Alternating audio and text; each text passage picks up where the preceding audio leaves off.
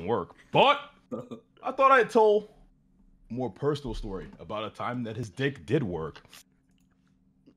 What? Now, Mizkif has brought this up on his stream a number of times about how he and Crazy Slick may have allegedly watched me jerk off in front of them. But that's only half true. He's quick to leave out the part where the two of them joined in. That's right, everybody. We had ourselves a little bit of a circle jerk. You know, Mizkif often jokes about how he has issues getting hard, but rest assured he had no issues that night. No, we Not did at all. not. I that is not true. No, we did not. It went- Kari.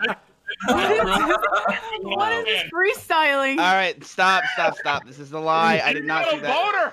boner! No, okay. Here's what happened. boner,